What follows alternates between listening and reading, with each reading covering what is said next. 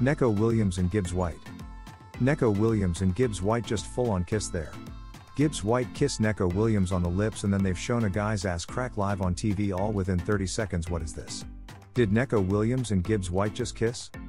Neco Williams not celebrating his goal v Liverpool was class and Morgan Gibbs White kissing him on the lips to celebrate was hot.